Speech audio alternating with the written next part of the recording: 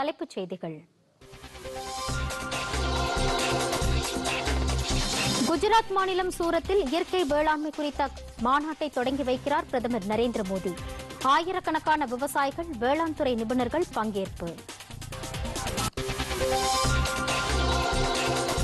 நாடு முழுவதும் இன்று பக்ரீத் பண்டிகை கொண்டாட்டம். இஸ்லாமியர்களுக்கு குடியரசுத் தலைவர் பிரதமர் உள்ளிட்ட தலைவர்கள் வாழ்த்து.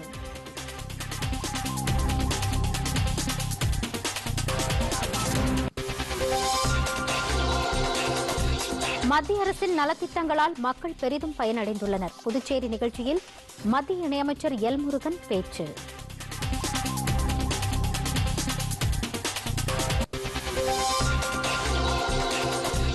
இலங்கை அதிபர் பதவியிலிருந்து பதிமூன்றாம் தேதி விலகுகிறார் கோத்தபய ராஜபக்சே அரசுக்கு எதிராக பொதுமக்கள் போராட்டம் தீவிரம்.